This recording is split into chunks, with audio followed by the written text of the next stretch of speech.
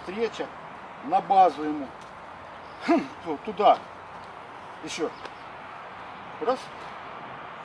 Подкручивая его в его стремлении. Вот он. Или забираю его на себя, а тут его встретил, ломанул. Значит, что значит подкручиваю? Момент такой, вынесенная нога, он в дисбалансе. Я ему даю какое-то движение в направлении той пятки. То есть туда его. А на каком уровне я это делаю? Или здесь. Или здесь встретил. И в какой момент я ему туда загнал. Есть раз его туда подсадили. Мы уже проходили такой момент, как жесткая встреча предплечьем. Делали такие стопинги пред- предплечьем, отбрасывали человека предплечьем. Точно так же вход в базовую ногу. Он меня бьет коленом или ногой.